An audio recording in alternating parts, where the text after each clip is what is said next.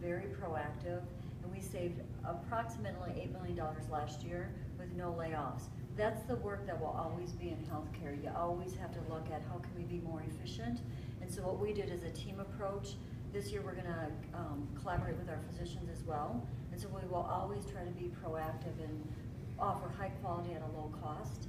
And Vicky had different market dynamics. When a hospital moves into your city, that's hard to.